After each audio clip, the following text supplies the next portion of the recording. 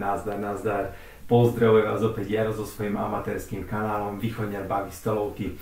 Dnes sa pozriem na zúbok tejto krásnej hre, ktorá sa volá Resist, ja to mám aspoň teda po anglicky a v našom priestore sa táto hra prekladá ako vzdor a pokiaľ sa nemýlim, tak túto hru vydáva vydavateľstvo Fox in the Box v našom priestore. Jedná sa o čistú solovku, čiže sa táto hra hodí perfektne na môj kanál. Vlastne tematicky sme na území Španielska a bojujeme proti Frankovmu, Frankovmu brutálnemu režimu.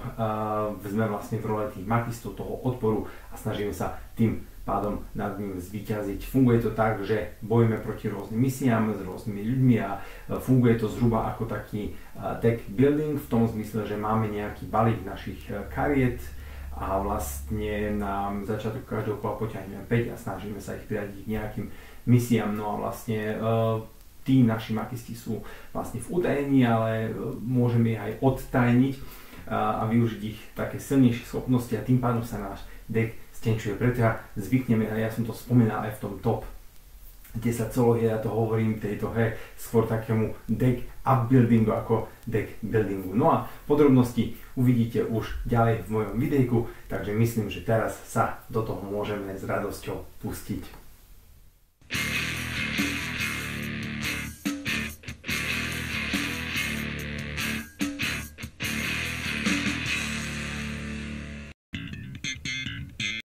Predtým, než si hru prichystáme, ja to s vami prejdem všetko, e, treba si trošku vysvetliť, aké druhy kariet máme, čo robia tie, tie dané karty, ako fungujú, vysvetlím v pravidlách, ale v zásade máme tam, tu na karty makistov, potom karty, ktoré majú rovnaký rúb ako makisti, to sú karty špionov, potom tu máme nejakú e, prehľadovú kartu, karty našich nepriateľov, karty civilistov a misie. No a prvý krok, prvý krok prípravy hry je prichystať náš balík makistov. Preto si presuniem tieto všetky karty trošku vyššie, pretože momentálne ich nepotrebujeme. No a toto je našich 24 kariet makistov. No a teraz máte na výber dva spôsoby, ako ako si danú hru pripraviť. Buď si jednoducho náhodne vyberiete 12 makistov a hráte, hráte vlastne s tým balíkom, ktorý, ktorý vám príde. E, to sa odporúča na, na začiatok hry, ale potom už keď dané pravidlá danej hry poznáte, tak by som ja tiež vám veľmi veľa odporúčal robiť draft a tento ja e, momentálne e, chcem aj spraviť a aj ho spravím. Kto nechce, nechce vidieť ten draft, ja nebudem vysvetľovať, že či sú dobrí, či sú zlí, tí, tí daní makisti, tak ho môže preskočiť v tých mojich záložkách. Kto si to chce pozrieť, tak ideme rovno na to, ako funguje draft. Draft funguje tak, že si potiahnete z toho balíka makistov dve karty, máte tam dve postavy, a jednoducho jednu postavu si vyberiete a druhú zahodíte na, eh, na taký ako keby odhadzovací balíček. Čiže my sme si vybrali Celiu a Roberta. Ja si určite beriem Celiu, pretože ona je dobrá eh, v ťahaní kariet, aj keď Roberta mám veľmi rád, je to eh, taký, taký dobrý biec. Máme tu na Juanu a Marcelina obidve veľmi dobré postavy, ktoré mám rád, ale vybral som si Marcelina, lebo on nám umožňuje takisto ťahať karty a keď je odkrytý tak on je veľký biec. Potom tu máme Ramonu a Jachinta. Ináč ospravedlňujem sa za uh, pravdepodobne zlé vyslovanie jen, ale španielčina nikdy nebola, nebola moja silná stránka. No ja si vyberám Ramonu, pretože Ramona nám za istých okolností umožní eh, potiahnuť si jedného makistu z, z tzv. tzv. recruit deck, eh, z takých tých zá, záloh, dajme tomu. OK, no zatiaľ sa mi to pozdáva veľmi, že si vyberám tie postavy z pravej strany. Za tohto Emília on môže kopírovať, kopírovať v jeho zakrytej fázi, keď ešte neodkrytý, tak kopírovať nejakú, nejakú inú postavu, respektíve jej vlastnosť. A, a ja, keďže Manuela som nikdy neskúšal, iba ten nie nikdy párkrát a jeho nikdy, tak prečo pre tento playthrough nevyskúšať Emilia? Uvidíme. Treba skúšať nové veci. Dobre, máme tu, máme tu Sole, Soledad a Carlosa. Carlosa mám rád, pretože on má dobre útočiace hodnoty, tak prečo nie vyskúšame vyskúšame túto postavu teraz. Toto je útok 0-0 a 2 a 3. Um, obidvaja, obidvaja majú tú istú schopnosť v tej zakrytej fázi, tak si beriem Adolfa. Prečo nie? Prečo nie? Pretože odkrytý má väčšiu hodnotu ako ten Anastasio. Dobre, ideme ďalej. Už sme skoro v polovici. Uuu, toto je veľká škoda. Dvaja najsilnejší, dve najsilnejšie, alebo jedné z tých silných postav, tak to mám veľkú dilemu, pretože táto, táto postava je veľmi silná. Ona umožňuje presunúť nejakého toho makistu preč, ale on umožňuje zahodiť kartu z ruky. A nie kartu, ale špiona, za to si potiahnu kartu a card draw je podľa mňa dôležitejší. Takže ja to risknem tak. Uvidíme, že čo mi ešte príde. Opäť toto mám rád, pretože dvojkový útok je v pohode. Ten kňaz je tiež fajn, ale iba za istých okolností. Dobre. Um, no, toto je dilema. Tie, tie dvojkové útoky sú stále dobré, ale ťahanie kariet je tiež fajn a on nám umožňuje ako, jedna, ako jediná postava, myslím, z, odhodiť špiona uh, úplne preč z ruky špionov. Nechcete, je to vlastne taký ten taká tá zlá karta v rámci toho deck buildingu alebo up buildingu, aby som to skôr nazval. Dobre, tu nie je o čom, pretože Dominga mám veľmi rád, preto, pretože on nám pomáha s našimi nepriateľmi. No a myslím, že máme posledné dve kola. Um, táto je, táto je silná, má, má útok 2, ale ja nemám žiadneho býca a Nikolás vie byť až štvorkový, mať až štvorkový útok plus ťaha nám jednu kartu, čo mám veľmi rád. No a posledné dve postavy. Mm, otočiť všetkých nepriateľov za tú pakitu som skúšal hrať to až také dobre nebolo, takže vyberám si to, že on si tiež potiahne jednu kartu a môže, keď je odkrytý, znižiť, znižiť tú silu misie na polovicu, čo ešte neviete, čo znamená ale, ale ja vám to vysvetlím. Dobre, takže tým, toto bol prvý krok, vybrať si, rozdeliť si tieto balíky, čiže my ich teraz zamiešame a vlastne toto bude náš doťahovací balík rezervy, rez, rezervy. No, dá, hej, môžeme to nazvať rezerva našich makistov. No a toto tu je balík, s ktorým my budeme hrať. A k nemu si musíme vybrať z týchto 6 kariet špionov 3 a zamiešať ich do nášho balíka. Takže ja tých špionov položím sem, pretože ešte nám možno v priebehu hry nejaký pribudnú a, a zamiešam ich teraz do balíka našich, našich makistov.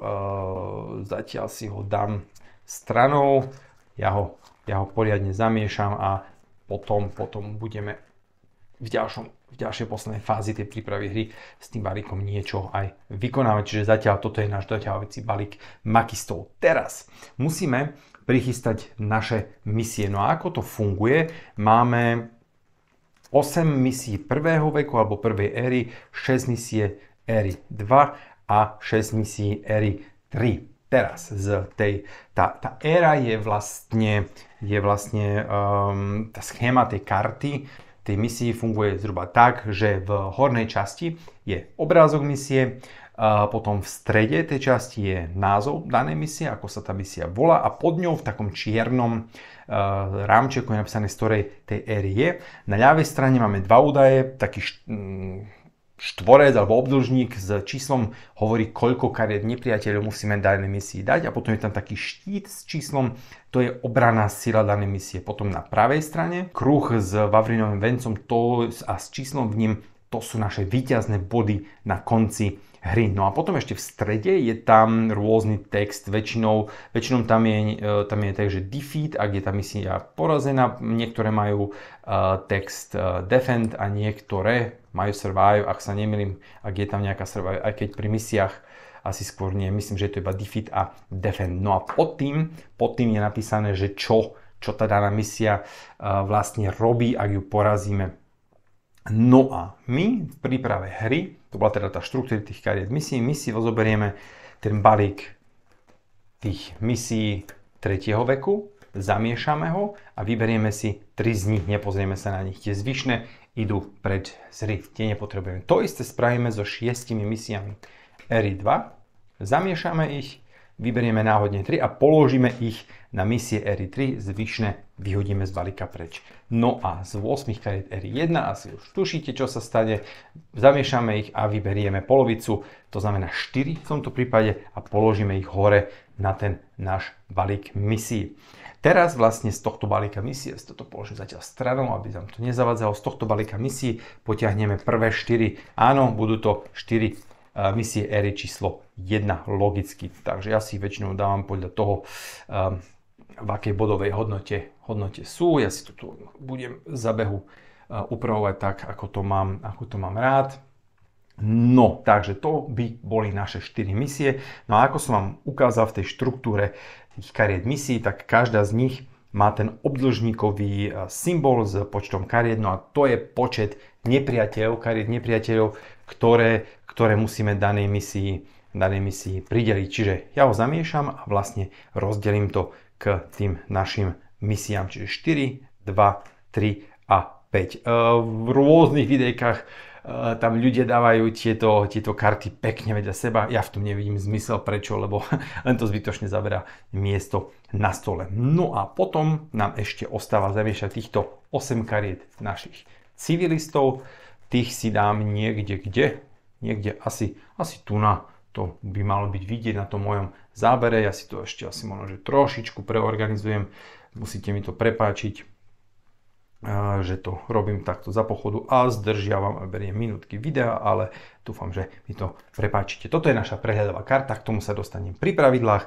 No a vlastne posledným krokom je si potiahnuť 5 kariet z nášho doťahovacieho balíčka, tých makistov, to je vlastne naša, naša ruka a vlastne toto tu, toto tu je naša začínajúca, začínajúca ruka a tým pádom sme si hru prichystali a môžeme ísť najprv ešte do pravidiel. Na vysvetlenie pravidiel nám poslúži perfektne táto, táto prehľadová karta, pretože na nej sú nádherne vyznačené všetky 4, všetky 4 fázy jedného ťahu. Um, poďme si ich spoločne, spoločne prejsť uh, od prvého bodu po ten štvrtý. Takže prvý bod v našom kole je plánovacia fáza alebo plán, tak by som to teda nazval. No a vlastne tá sa začína tým, že môžeme hrať naše karty makistov. Štruktúra kariet týchto, týchto makistov je taká, to vám môžem teraz ukázať, že vlastne oni sa delia na dve strany. Na tej ľavej, na tej ľavej strane je vlastne postava, ktorá má je v tej farbe, tak by som to nazval, a na tej pravej strane je taká, taká temná postava hornom, v hornej časti tej karty v strede je názov postavy, uh, to znamená meno danej postavy, no a potom je vľavo tak pekne, uh, také pekné číslo s, s popisom, čiže napríklad uh, za Antonia máme vľavo jednotku a hidden, skrytý, ukrytý. Na pravej strane je to dvojka a revealed.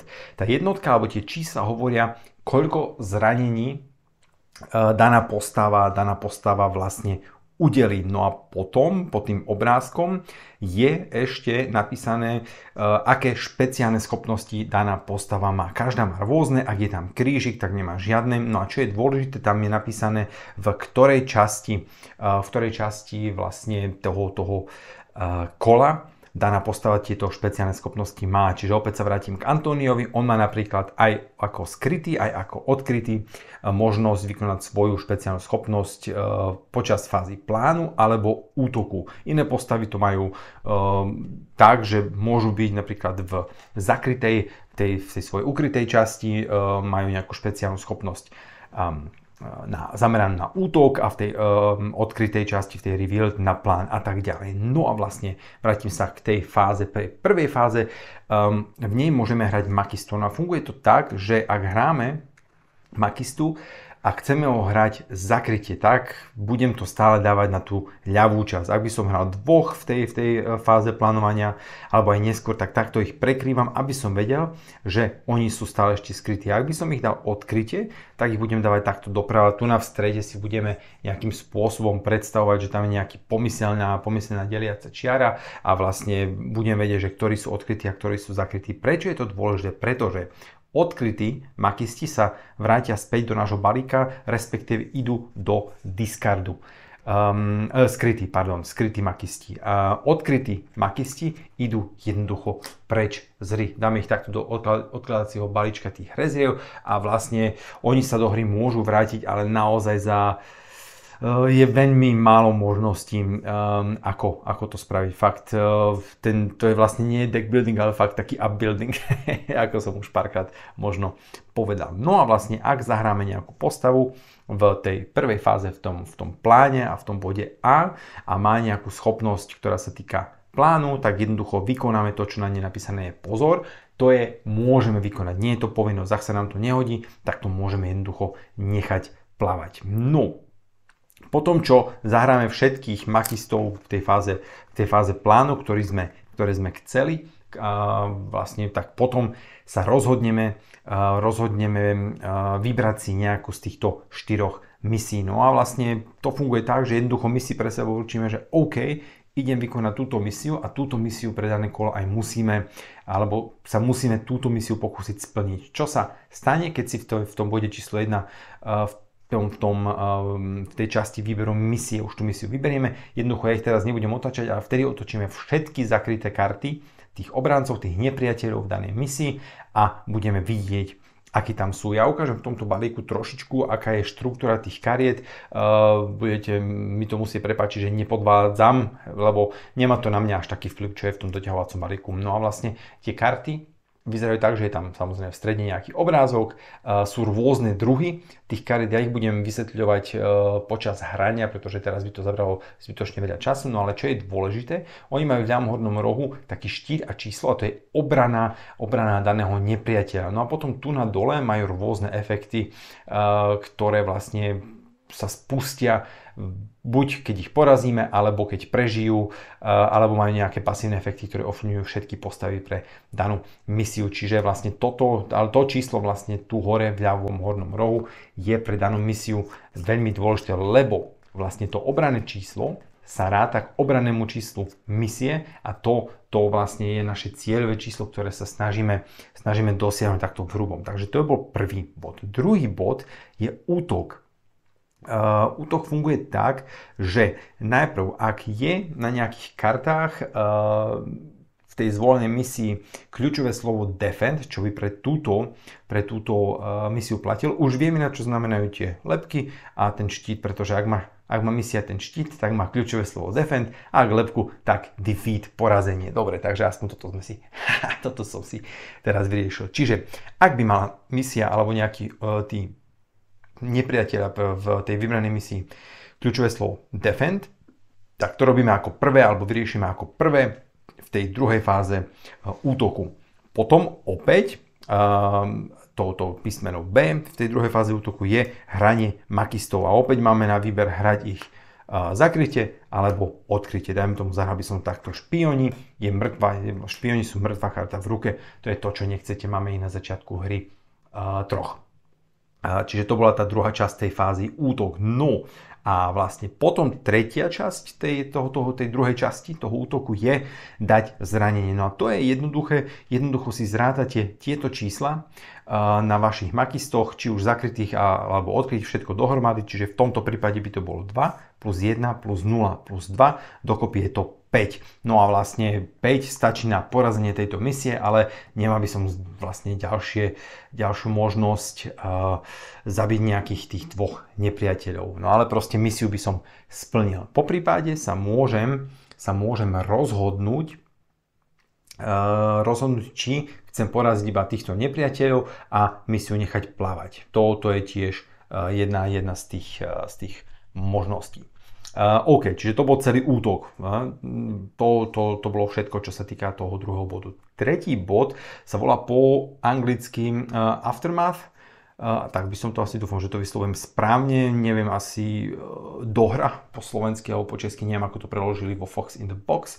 No a vlastne v prvej fáze sa pozriem, či som prehral na civilné straty. Ja ten balík teraz ukážem a, lebo si ho znovu zamiešam. Ak prežije jeden typ nepriateľa, volá sa to anti-gerilla, mali sme ho tu na hore, pozrieme sa ešte raz, aby som counter gerilla. Ak prežije, čiže za každú takúto postavu counter gerilly, ktorá prežije, si musíme potiahnuť kartu z tohto balíka civilistov. No a každá tá karta, ona má obrázok plus také číslo to na strede. No a napríklad táto karta má číslo dvaja civilisti.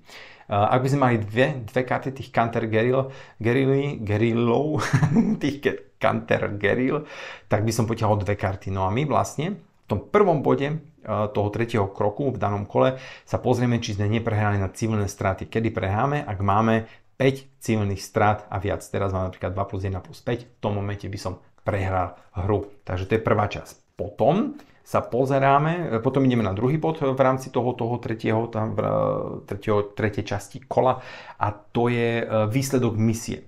Ako som vravel, máme tu na sílu 5, to je tento príklad a vybrali sme si túto misiu. Takže buď by sme mohli poraziť misiu, ale nechali týchto dvoch nepriateľov e, nezabitých, alebo by sme sa mohli rozhodnúť teoreticky zabiť oboch týchto nepriateľov, ale misia by e, nebola splnená. Ak splníme misiu, tak si jednoducho vezmeme do, do, na, na stranu a toľko vyťazných bodov, koľko je tu na v tom, v tom bavlnenom venci, toľko bodov budeme mať na konci hry. Ak misiu ale nesplníme, tak ona sa otočí takýmto spôsobom a ak by sme vlastne v, v tomto bode toho tretieho e, kroku daného kola, e, ak by došlo k tomu, že by sme nesplnili druhú misiu, v tom momente opäť prehrávame. To je vlastne druhá možnosť z troch, ako, ako môžeme prehrať, prehrať danú hru.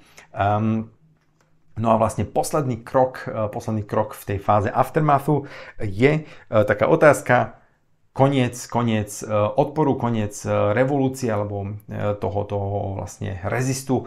No a tu sa vlastne rozhodneme áno, je to koniec a v tom momente sa končí hra a my vlastne si spočítame víťazné body všetkých tých splnených misií, ktoré sme splnili a vlastne v pravidlách na strane číslo 1.035, na strane číslo 10 je taká pekná tabuľka, ktorá vraví, že uh, aký druh víťazstva sme, sme dosiahli na základe počtu bodov. Uh, taká, prvá, taká prvá hranica víťazstva je aspoň 15 bodov a epické víťazstvo je, ak splníme všetkých 10 misí. To sa mne osobne ešte nikdy nepodarilo. Dobre, ak to je vlastne, keď povieme, že nie, že chceme ukončiť uh, teda ten rezistu, tu, ten odpor. Ale ak povieme, že ideme ďalej, tak opäť si vyberám teda ten príklad tejto misie, dajme tomu, že sme ju porazili, tu nám sa niečo stalo, my ich potom odhodíme tých nepriateľov do diskardu.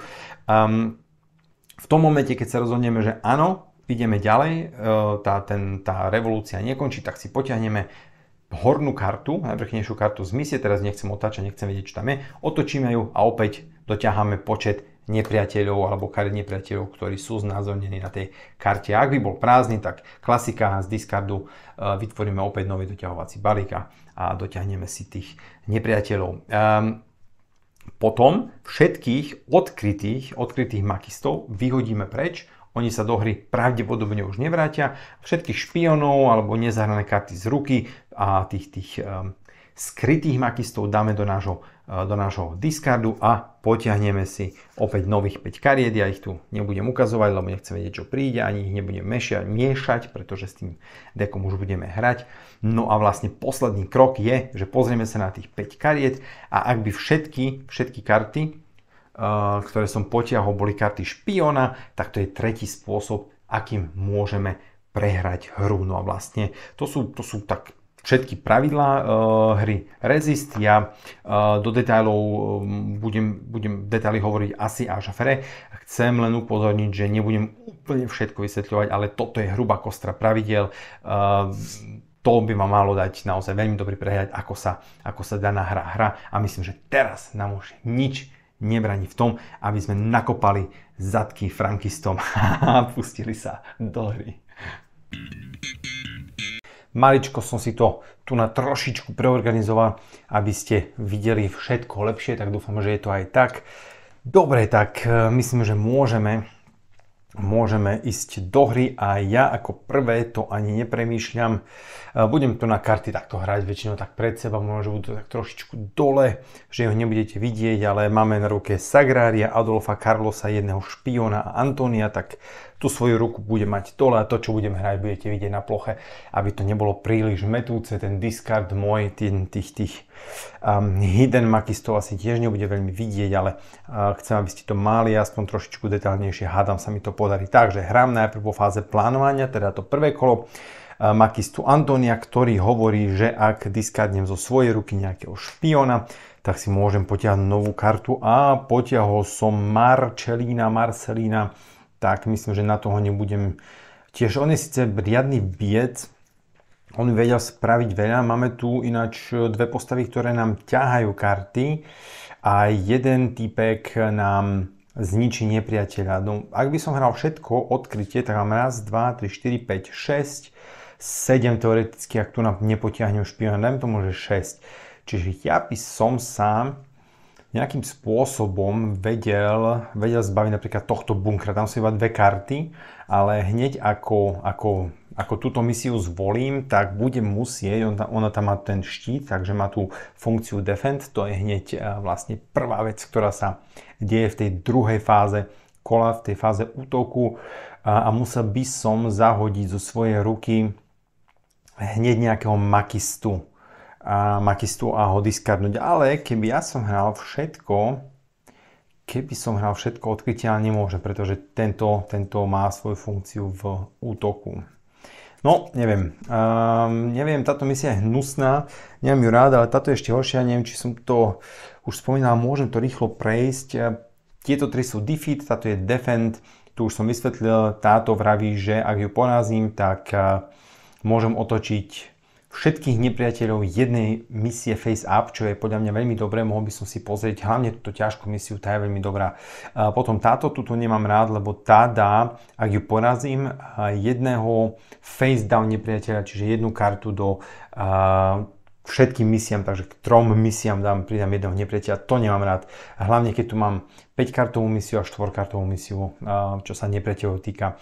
No a táto vraví, že potiahnem jednu extra kartu z tohto deku na začiatku kola alebo v tej, v tej recover, uh, recover fáze, čiže namiesto 5 potiahnem 6 karty, čo je fajn. Takže ja by som skôr typol, že teraz mám slabšiu ruku, tak uh, premýšľam, že zautočím na túto misiu a potom sa pokúsim poraziť túto. Záleží, záleží samozrejme od kariet, ktoré potiahnem. Teoreticky by som ešte mohol Teoreticky by som mohol uh, skúsiť hneď poraziť túto misiu a potom skúsiť poraziť túto ďalšiu.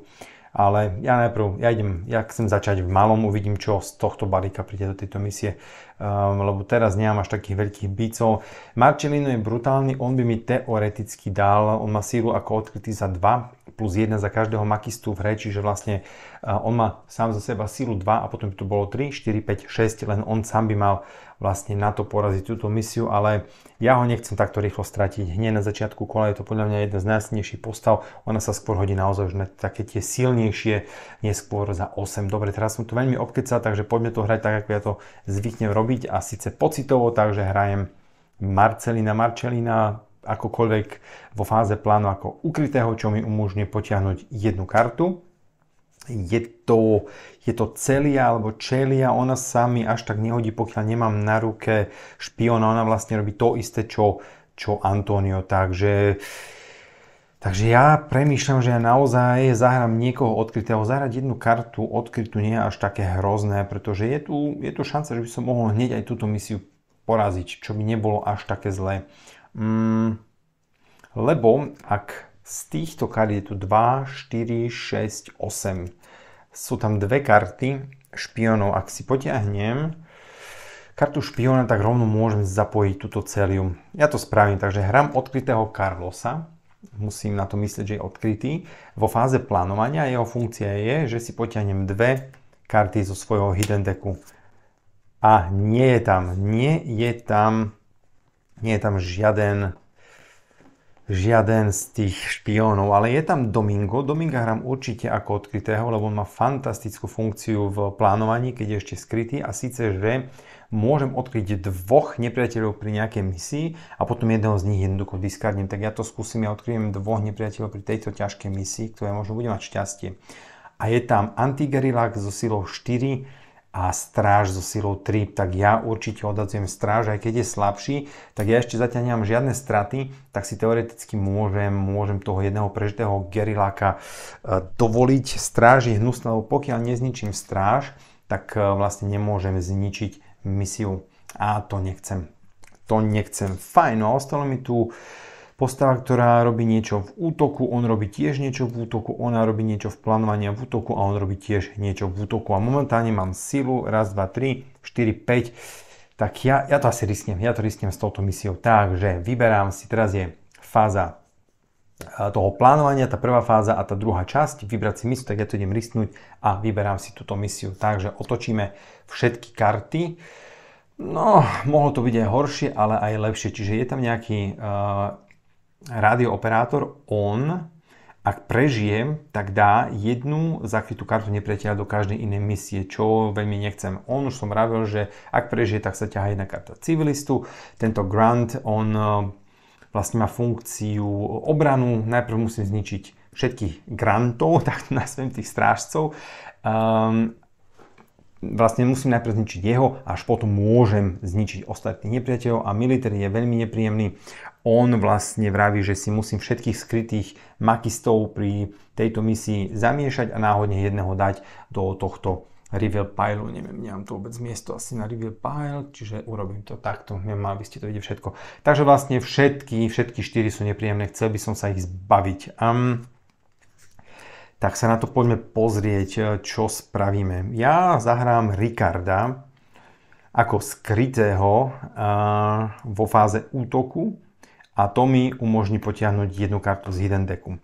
Teraz je tam ten špion, čiže môžem hrať Celiu, to je tá jej výhoda, že ona môže tú svoju funkciu takisto ako aj Antonio hrať aj vo fáze plánovania, aj vo fáze útoku, respektíve buď alebo. Takže ja zahadzujem jednu kartu špiona zo svojej ruky a ťahám si jednu kartu a nie je tam špion, to je super, je tam, je tam Nikolas, dobre. Um, Adolfa hrám tiež odkrytého, takto, aby sa mi to nepomiešalo náhodou. E, dúfam, že to budete vidieť. Ja to môžem takto prekryť, lebo tie, tie vlastne funkcie som už zahral tak, že Adolfo v útoku ako skrytý môže diskardnúť jedného nepriateľa z misie. No a, a vlastne ja chcem diskardnúť naozaj nejakých nepríjemných. Ja keď diskardním túto trojku, tak sa s ňou nemusím lebo vravím, tá Canter Gerilla mi je v podstate ukradnutá. A tým pádom musím vynaložiť sílu 9 alebo 6 za misiu a týchto dvoch chcem určite zničiť uh, toho Canter Gerillu. Proste budem riskovať, že tam nepríde tá trojka. Takže koľko mám síl momentálne? Raz, 2, 3, 4, 5, 6, 7. 7, ju hrám tiež zakrytú, to je 8, 9. Aj keď ja ešte si môžem počkať, ja najprv zahrám tým pádom Nikolasa, ako zakrytého vo fáze útoku a jeho e, schopnosť hovorí, že si potiahnem tú hidden kartu. A nie je tam, nie je tam, nie je tam špion, čo je super. Tak ja zahrám Emília, on má tiež tú výhodu, že, že ako skrytý uh, sa môže vykonať vo fáze plánovania alebo v útoku a on môže skopírovať nejakú, nejakú funkciu skrytého, um, skrytého makistu, v, v hre a, a samozrejme vykoná tú funkciu, ktorá sa práve uh, hodí pre tú fázu, v ktorej sme, čiže nejakú atak funkciu. Tak ja, on kopíruje teda Adolfa a on diskardne jedného nepriateľa z danej funkcie, takže on kľudne môže diskardnúť túto Counter Guerrilla. No a vlastne Sagrario hrám ako skrytú, ktorá nemá žiadnu funkciu, ale má, uh, má celkom dobrú silu. Čo je super, tak uh, OK, tu na je jeden je jeden špión, ale vidíte, skoro som predsa celý balík, dúfam, že som tam nejakú chybu neurobil a myslím, že tým pádom splníme túto misiu a budeme ťahať 6 kariet, to sa teším. Takže poďme si zrátať ešte raz tú silu. Raz, 2, 3, 4, 5, 6, 7, 8, 9, 10.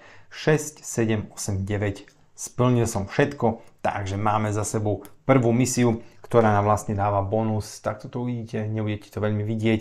Uh, kde budeme dávať tie misie, aby ste to videli? Mm, možno, že takto, aby ste aspoň ako tak tam mali tie One. Alebo je, viete čo, ja dám týchto špionov preč, pretože na nich až tak nezáleží, keď si nového potiahnem, tak uh, budem na to myslieť, že ho mám tam vedľa. Dobre, um, takže budem stiahať jednu kartu. Fajn, to bol vlastne ten tá druhá, kompletná druhá fáza. Atak, no a vlastne teraz príde tá tretia fáza vťahu, ja to teraz iba v tom prvom kole trošičku podrobnejšie rozprávam, potom to už budem robiť automaticky. A tá vraví, že najprv musím čeknúť, či som neprehral na straty civilistov, nemáme žiadne straty.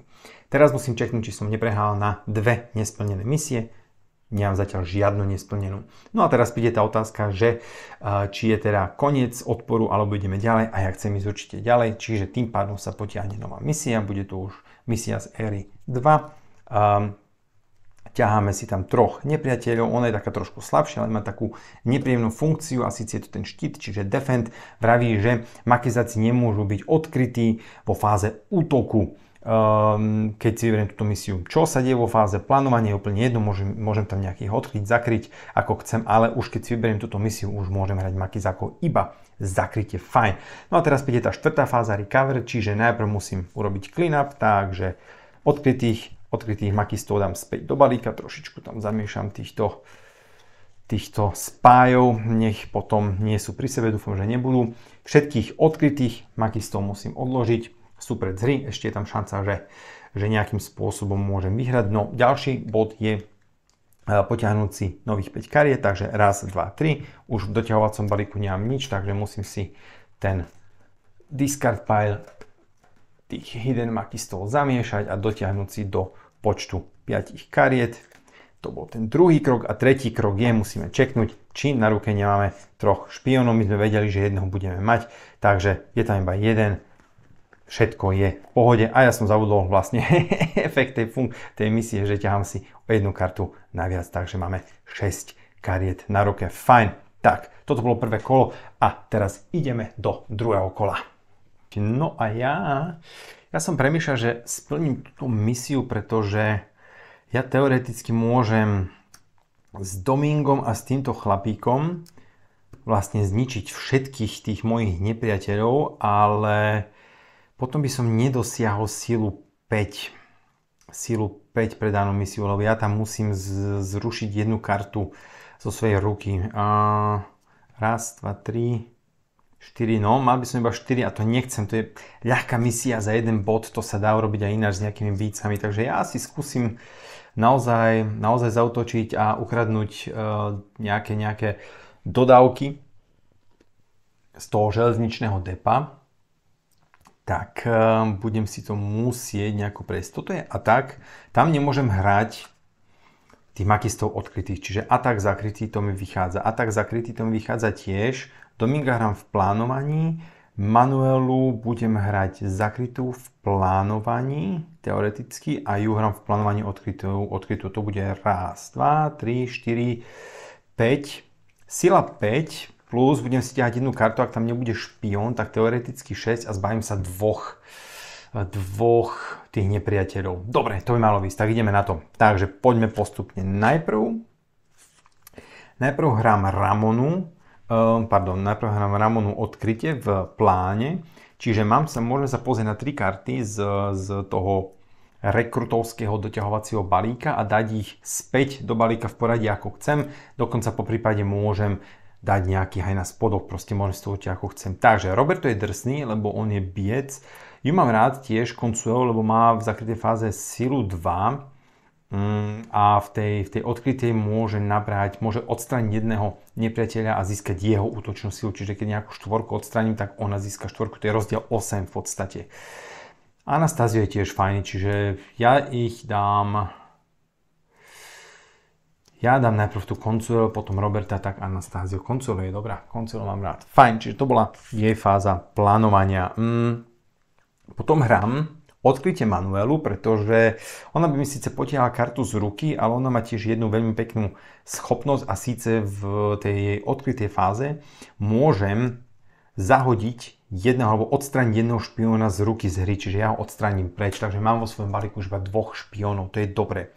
Teraz Dominga hrám vo fáze plánu, um, čiže odkryjem dvoch nepriateľov a jedného z nich môžem zabiť.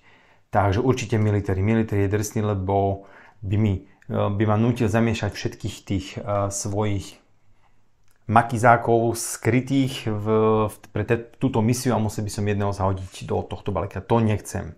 Dobre, a vlastne toto už sú obidvaja na útok a zakrytie, takže je som v pohode. Fajn. Idem si zvoliť misiu, zvolím si teda túto, odkryjem kartu a mám tam dvoch, dvoch grants, čo je úplne super, pretože musím najprv zničiť ich oboch, aby som mohol zničiť iných nepriateľov, čo mi je úplne ukradnuté, čiže ja vlastne môžem úplne kľudne zahrať tieto dve karty. Za Adolfa ešte odstraním jedného z tých grantov. A teraz je otázka, či si chcem potiahnuť kartu. A mám 2, 4, 6, 8 kariet. Sú tam dvaja špioni a mám tam dve karty, ktoré mi umožňujú potiahnuť kartu, ak si potiahnem špiona. Ja si myslím, že to nebudem riskovať nechcem, nechcem si vyničiť návoj, takže nevyužívam tú schopnosť. To je ináč možné podľa pravidel, že nemusíte tú danú schopnosť daného hrdinu, tak to nazvem využiť. Tak, poďme na to. Máme útočnú silu. Raz, dva, tri, štyri, 5, 6, čo stačí dokonca aj na zničenie tohto, tohto chlapíka. Takže, takže ďalšia, ďalšia uh, misia splnená. Len, aby ste vedeli, defend znamená, že nemôžem hrať makistov odkryte vo fáze útoku. Ako som vravil, ju som mohol odkryť, lebo som ju odkrýval vo fáze plánovania. Čo sa deje v plánovaní, nemá úplne žiaden vplyv na, na tú fázu útoku. Čiže všetko sa udialo správne. Ak som to nerobil správne, tak mi dajte vedieť a, a uh, budem sa kajať a smútiť, ale hlavne budem vedieť, že, že som hral nejaké pravidlo zle. Fajn. Uh, civilistov a 5 zabitých nemáme, dve nesplnené misie nemáme, chceme ísť ďalej, určite áno, pretože sme zatiaľ na 5 podoch, čiže ja chcem, chcem ďalej útočiť na frankistov, no a máme tu misiu, ktorá má sílu, obrannú sílu 7, ťaháme si 5 nepriateľov a vraví, že ak ju porazíme, tak, tak môžeme diskardnúť jedného nepriateľa z každej ďalšej misie, čo je veľmi silné, ale 7 a 5 je dosť drsné. Fajn. No a vlastne už som odložil Manuela, poslúžia výborne, pretože síce sa nám stenčil balík, ale stenčil sa aj balík našich špionov. Tentokrát si ťaháme ale už iba 5 kariet štandardne, pretože už nemáme žiadnu misiu, ktorá by nám dala dotiahnuť jedného balíka. Takže, uh, takže výborne máme tu Antonia, uh, ktorý nám pomôže sa zbaviť tejto špionovej karty, Marcelina ako nejakého býca teoreticky premýšľam, že by som ho využil na túto, e, na túto misiu, ale ešte to uvidíme tak, že najprv poďme po poradí, ja ich teraz balím. Zahrám Antónia e, vo fáze plánovania, to znamená jeho špeciálna schopnosť hovorí, že odhodím zo svojej ruky kartu špiona a potiahnem si za to jednu kartu z tohto balíka. Je tam Celia. Celia by nebola zlá, keby toto bol špion, to by nebolo zlé. Mám tu nejaké card draw.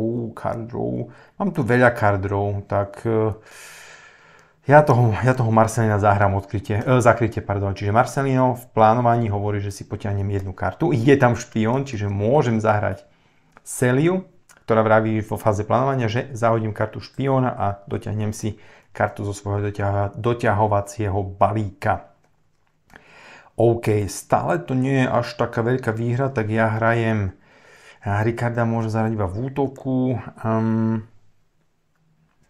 ja si myslím, že zahrám Emilia ako skrytého a kopírujem, kopírujem funkciu Marcelina vo fáze plánovania, ktorá vraví, že si môžem dotiahnuť kartu zo svojho hidden decku, ktorý je prázdny, čiže si ho musím znovu vytvoriť a budem veľmi dúfať, že teraz nepotiahnem toho špiona, to by nebolo dobre. Dobre, je tam Adolfo. Takže teraz to mám už iba atak, atak. Um, a tak a tak. Dobre, to znamená, že ak by som si vybral túto misiu, na to nemám, to bude slabé, na túto misiu budem musieť jednu z týchto troch kariet zahodiť. A musím tam mať silu, silu 5. Zatiaľ mám raz, 2, 3. Mm, z ňou by som mal 4, 5 a s týmto by som vedel odstrániť nejakého nepríjemného, nepríjemného typka. Takže teoreticky Teoreticky sa viem zbaviť tohto. To by bolo fajn, fajn. Dobre, čiže tým pádom končí moja fáza plánovania, takže si musím vybrať misiu, vyberám si túto. Uh, odkrývame si tam teda chlapíkov.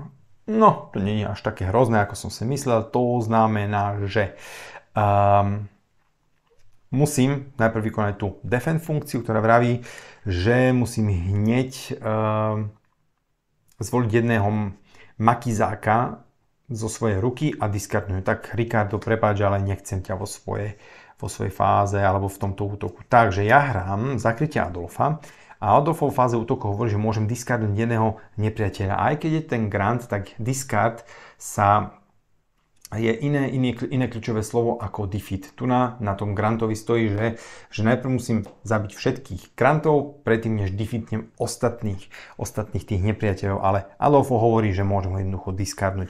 Ak opäť, ak to chápem zle pravidla, tak mi dajte vedieť, ale myslím si, že nie. No a zahrám aj Sagrario zakrytie a ideme na to, poďme si spočítať náš útok. Máme 1, 2, 3, 4, 5, čo stačí na túto misiu. Ona nemá žiadne špeciálne schopnosti, lebo mala uh, tú obrannú schopnosť. On ochraňuje iba ostatných nepriateľov, čiže mi je ukradnutý, že prežil a splnili sme ďalšiu misiu. Takže uh, ideme skontrolovať ten aftermath, uh, tá, tá, tá dohra, čiže civilné, civilné straty zatiaľ nemáme, dve misie nesplnené tiež nemáme.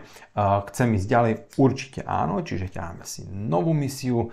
No a toto už budú také to už budú také masnejšie, čiže budem si musieť naozaj premyslieť, že do ktorej misie chcem ísť, aby to vyšlo dobre, no a vlastne zbalím si všetkých svojich zakrytých makistov, odkrytých by som dal tam, ale nie sú tam žiadni. No, čo je blbé, tak mám obidve svoje karty, ktoré niečo riešia s tými špiónmi v tomto deku a teraz potiahnem dvoch špiónov. To bude, to bude nepríjemné, takže vťahám si 5 kariet, ako som bravel. No a je to tak, mám tu na dvoch špiónov ah, Dominga Nikolasa Ramony, tak poďme si premyslieť, čo spravíme v tom, v tom treťom kole. Myslím, že to je štvrté, asi už hádam. Ja som sa rozhodol urobiť takú halus, lebo nechcem prísť, nechcem prísť o žiadného, o žiadného svojho, svojho makistu. Možno prídem teraz, Možno teraz prídem o Ramonu, som ešte o tom, na tým, na tým premýšľal, ale nie, nechcem.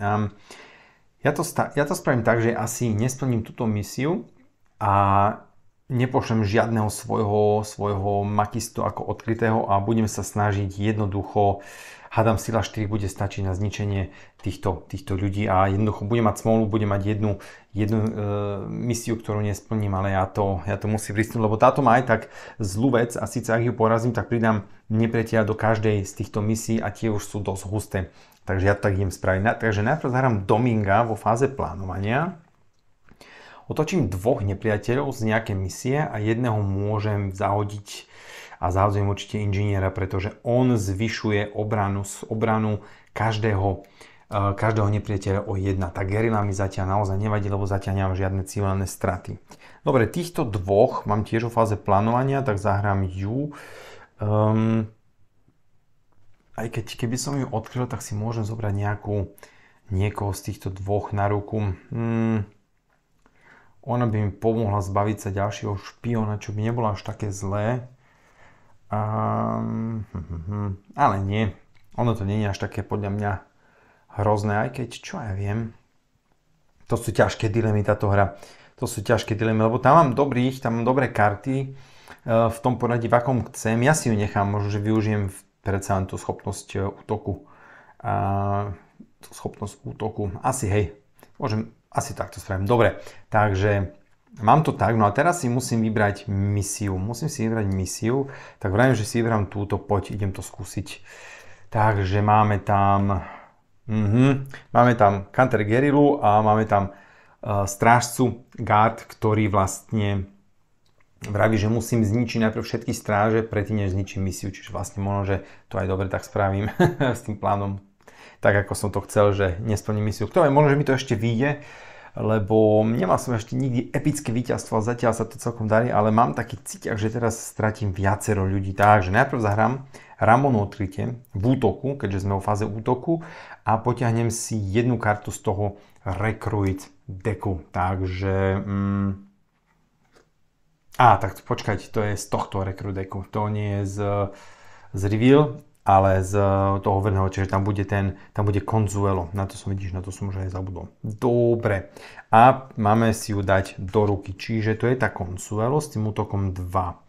Tak ja ju rovno zahrám za útok 2 a zahrám si aj Nikolasa v útoku, ktorý mi vraví, že, že si potiahnem jednu kartu. Keďže balík je prázdny, tak ho musím zamiešať, potiahnem si jednu kartu. Uh, Marcelino má, má ťahanie jednej karty vo fáze plánovania, čiže to mi veľa nedá. Ak by som ho odkryl, tak určite viem túto misiu vyčistiť, ale ja, ja nechcem. Koľko mám teraz? Raz, 2, 3, 4, 5, 6, 7. No čuduj sa svete, mne by to stačilo na zničenie. Chcem jedného nepriateľa do každej misie, sú to len dva body. Ale ak nesplním nejakú inú misiu, tak vlastne končím hru. Mm, kokso, to je ťažké, on je dobrý. On je dobrý a ťaha karty. On je dobrý a ťaha karty, nie. Ja tú misiu nesplním. Prípadne ešte to viem urobiť tak, že, že zabijem týchto dvoch a Gerila mi dá jedno zranenie. Lebo on je dobrý práve na také silné misie, tento, tento Marcelino. On je silný na tieto misie. Dobre, každopádne raz, 2, 3, 4, 5, 6, 7. Strážcu zabijem, čiže mám ešte silu, silu 5. Tu je teda tá otázka. Nie. Ja zabijem, ja zabijem Gerilu a nesplňam misiu. Kašľam na to. Ja, ja to spravím takto. Dobre, čiže teraz ideme čeknúť podmienky pre hry. Civilné straty nemáme, máme jednu nesplnenú misiu, ale to nám nedáva prehru v hre. Teraz uh, chceme pokračovať v odpore chcem, ona je preč z hry. Uh, dvoch tých špiónov plus všetkých zakrytých makistov dáme do discardu. Teraz určite potiahnem tie karty, ktoré mi ťahajú nejakú kartu za kartu špióna. Uh, dokonca obe som ich potiahol. Dobre, čiže toto je opäť taká, taká slabšia slabšia ruka, ale uvidíme, čo sa s tým dá spraviť. Možno, že ich zahrám odkryte, kto vie a idem si to teraz premyslieť, lebo teraz si už nesmiem dovoliť, uh, dovoliť prehrať žiadnu misiu. Takže uvidíme. No a keďže najslabšia misia je táto, lebo má obranú silu 5 a má iba 4 nepriateľov, tak ja to idem skúsiť. Ja to idem skúsiť. Um, a idem to robiť tak, že vlastne že vlastne nehrám žiadnu kartu v plánovaní. Mm, nehrám žiadnu kartu v plánovaní a idem rovno do fázy útoku a zvolím si túto misiu, takže odkryjem tam karty a som zvedavý, čo tam je. Oh wow, ty vole.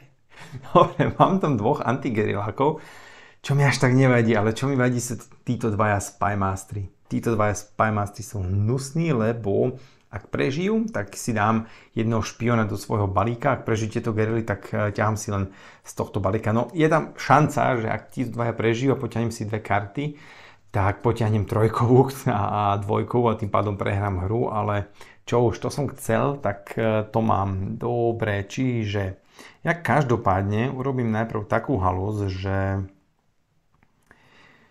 um, že zahrám určite odkrytie Sagrario.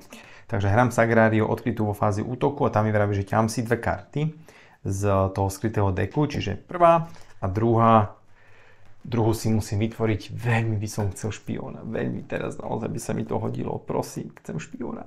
Chcem špióna. Daj mi špióna. Yes, yes, yes, yes, jak sa teším. Čiže vlastne na nič nečakám. A a hrám a hrám Antónia vo fáze útoku, pretože on má tu svoju schopnosť na plánovanie aj útok a zahádzujem zo svojej karty kartu špiona a ťahám si kartu z deku. Super, dobre, dobre, čiže aspoň niečo vyšlo. Toto je paráda, lebo je to silná karta. Dobre, vychádza to fajn, takže ja hrám Emilia. Emilia hrám v Počkať, Emilia nie. Ja chcel som hrať tohto. Adolfa hrajem skrytého vo fáze útoku a vraví, že môžem diskardnúť jedného nepriateľa z misie, kde som. Ja som si zvolil túto misiu, takže ničím určite Spymaster. Spymastery sú hnusný, takže štvorkový Spymaster. Čau. Emilio je opäť je tiež skrytý, využívam, on môže byť e, zahraný vo fáze plánovania ataku a on môže kopírovať nejakú nejakú schopnosť skrytého makistu, samozrejme, ak sa to zhoduje v tej, tej sa to zhoduje pre tú fázu, ktorej ho hráme, hráme fázu útoku, čiže kopírujem jeho schopnosť a diskardujem jedného, jedného typka proste z misie, takže bude to Spymaster. Takže už je to lepšie. Už mu potrebujem dať tej misii iba 5, 6, 7, 8. 8 to by sa malo dať, to by sa malo dať, takže ju hram odkryte, e, zakryte, takže mám už raz, 2, 3, 4, 5 a potrebujem ešte 3. Potrebujem ešte 3 a nemám. A, tak ja zahrám teda Ricarda skrytie vo fáze útoku, ktorý mi vraví, že si môžem potiahnuť jednu kartu. A je to Nikolas, čo je paráda. Um, chcem si potiahnuť kartu alebo nechcem? Chcem alebo nechcem? Uh, ja som premyšľal, že si zahrám že si zahrám ju ako odkrytú, lebo ona mi umožní zahrať jednu kartu jednu kartu z tohto reveal decku na ruku. A mám tam, mám tam táto Manuela je dobrá, Manuela je dobrá, lebo ona nám umožňuje ničiť špionu. Tak ja to, ja to skúsim rysnúť tak, že hrám Nikolasa, zakryté, v, zakrytého vo fáze útoku a ťahám si kartu. Dobre, nie je tam, nie je tam, uh, nie je tam špion, čo je veľká škoda. To, to mi nevyšlo. Mm, tým pádom je to už úplne jedno, lebo on má teraz túto funkciu nevyužijem jeho útoku, takže hrám ho skrytého. Tu ona bude potiahnutý jeden špion, čo už. Um, aj keď tým pádom, že mám ju, že mám ju, tak je tam veľká šanca, že... Hm. je tam, je tam veľká šanca, že môžem tam urobiť celkom pekné kombo. Keby som si ju zobral, tak si ťam kartu. Táto mi zase odstraní špiona. Ah, nie, ja, pardon, trošku to tu miešam, hram túto celiu proste um, odkrytie, ale nevyužívam je schopnosť, takže poďme si to zrátať, idem dávať zranenia. Raz, dva, tri, 4, 5, 6, 7, 8, 9, 5, 6, 7, 8. Zabil som ich všetkých, chvála Bohu. Takže radšej to ešte nevalím, lebo sa v tom pomýlim náhodou. Čiže defeat funkcia hovorí, že otočím všetkých nepriateľov pri jednej misii. No a ja si ich otočím pri tejto, pretože túto misiu by som veľmi rád, veľmi rád splnil a dobre, že som to spravil, pretože tá antigerila mi nevadí, Spy Mastery mi vadia úplne, že hrozne. Guard vlastne obraňuje misiu a tento inžinier je hnusný, lebo on zvyšuje um, obranú schopnosť e, všetkých, všetkých týchto ľudí o jedna, okrem inžinierov, inžinieri nie. Čiže tento je za 4, tento je za 2, tento je za 2, tento je za 2. Ťažká misia, dobre, že som to odkryl. Dobre, a teraz je to otázka, či, či chceme ísť ďalej. Um, no a ja chcem ísť určite ďalej. E, dobre, prehra, najprv musím čeknúť, či nemám prehru. Mám jednu nesplnenú misiu, to je v pohode, žiadne straty, takže idem ďalej. Ťahám si ďalšiu kartu misie, ktorá nám dáva tam piatich nepriateľov. Ona robí čo? Robí, že má defense schopnosť a vraví, že všetci nepriateľia v tejto misie majú, majú vlastne obranu jedna, o jedna väčšiu, čo je dosť čo je dosť drsné. Dobre, zatiaľ sme na 5, 6, na 7 víťazných bodoch, takže aby sme aspoň nejaké víťazstvo zaznamenali, tak, tak potrebujeme toho ešte dosť. Čiže teraz sa budem musieť naozaj veľmi snažiť a už tam naozaj ťažké misie. Tuto nechcem, tá nám dá jedného špiona do balíka, to je také, že bleh. Práve keď mám jedného odstraneného, táto je hnusná, ten inžinier je, je zákerný. Čiže ťahám si 5 kariet, opäť si musím vytvoriť opäť si musím vytvoriť nový doťahovací balík. Ako poznám túto hru, tak teraz mi tam nadeli dvoch špionov bez možnosti sa ich zbaviť. A, ani nie, dobre, tak mal som celkom šťastie. Mal som celkom šťastie. Tak Celiu hram určite teraz na ako, ako skrytú, lebo chcem sa zbaviť tohto špiona, dotiahnuť si jednu kartu. Je tam ďalší špion, tak ani na nič nečakám a hrám Emília, ktorý kopíruje jej funkciu a zahadzujem teda druhého špiona na potiahnutie karty. Dobre, teraz viem, že už žiadneho špiona nepotiahnem. Čo je blbé, on môže odkryť iba face up alebo face down nepriateľov, čo je také blbé. No a ja premýšľam, že ja naozaj zautočím na túto misiu a že stratím týchto svojich dvoch pícov. Myslím, že teraz je ten správny čas, lebo on mi dá vlastne, on je za 4, keď je odkrytý a on, on má sílu 2 plus 1 za každého ďalšieho makistu, čo by bolo raz, 2, 3, 4, 5, 6. Čiže iba on má sílu 10 a ja tu na naozaj potrebujem veľmi, veľmi veľký útok. Môžem si to aj dokonca zrátať.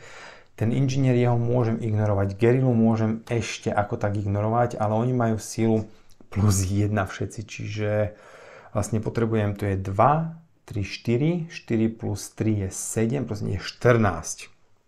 Potrebujem sílu 14, čo nedám ani keby som sa poskladal.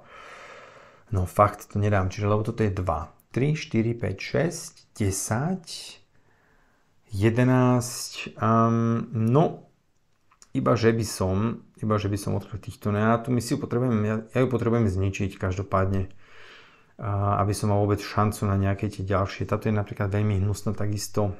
Uh-huh. Asi hej, asi to musím spraviť. Odkryť troch ľudí a troch najsilnejších je zlé, ale toto je dôležitá misia má len dva body, len za dva body. Ja by som ešte teoreticky, stále ešte som si nevybral hej, misiu, že ktorú idem, ktorú idem, na ktorú idem. Možno by som mohol skúsiť túto, keďže tu nás sú Spy Mastery. A táto je dokonca za 4 body, že tam, tam by som skôr mal, mal možnosť tam niečo, uh, niečo poriešiť, lebo tam má len sílu 5. Tu nadajme tomu, že keď bude priemer každého tohto tohto typka 2. Tak to je 2, 4, 6, 8, 10, 15, ok, 20. Dobre, ja to môžem znížiť. Dobre, ja to idem risknúť. Idem to risknúť a hrám Dominga na túto misiu, hrám ho zakrytie a odkrývam dve karty a môžem jednu, jednu zrušiť. Takže zruším si guard. Ten guard mi, mi bráni v tom, aby som zrušil misiu. Dobre, a teraz idem do útoku. Tak viete čo? Viete čo? Ja to idem risnúť a idem zautočiť na túto misiu. Poďme sa na to pozrieť. Je tam Antigena, je tam Jailor, čo je super. A je tam Grant, ktorý ochraňuje vlastne ostatných.